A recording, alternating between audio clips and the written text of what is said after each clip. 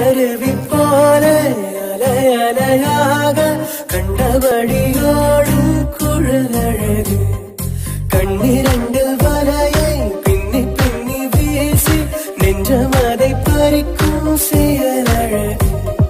தெற்றுப்பல்ல சிரிக்கையில் தள்ளி நின்று யோசிக்கையில்